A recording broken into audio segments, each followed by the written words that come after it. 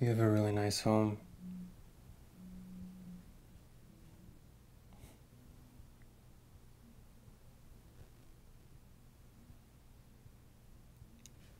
I used to have the same shirt when I was a kid.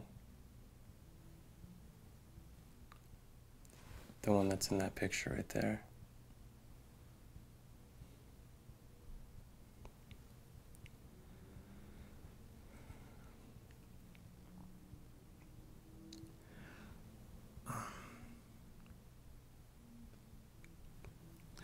I might have been going a little too fast that day. I'm not really sure, but I, I might have been. So that's uh, what I wanted to come and tell you today. I might have been going a little too fast.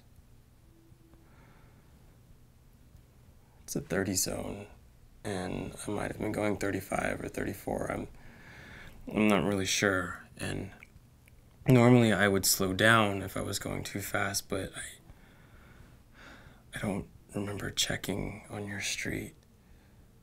So it's possible I might have been going a little too fast. And then that dog just came out of nowhere. And it was so quick. And I swerved to avoid it, obviously not realizing that